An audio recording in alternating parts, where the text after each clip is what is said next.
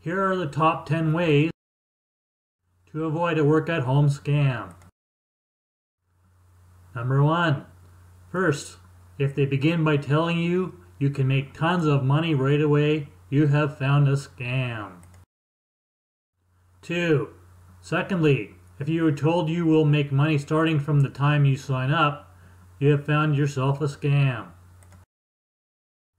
Three, when they tell you it's going to take little or no work, easy work at home program, or part time easy income, it's probably a scam.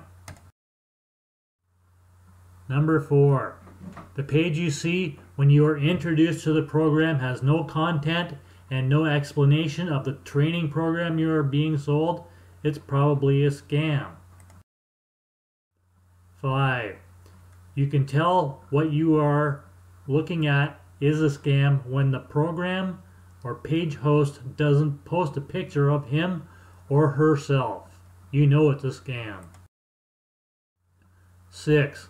When the call to action is the first thing that you see on the page and it's very urgent, like your life depends on it, you know it's a scam. Number 7.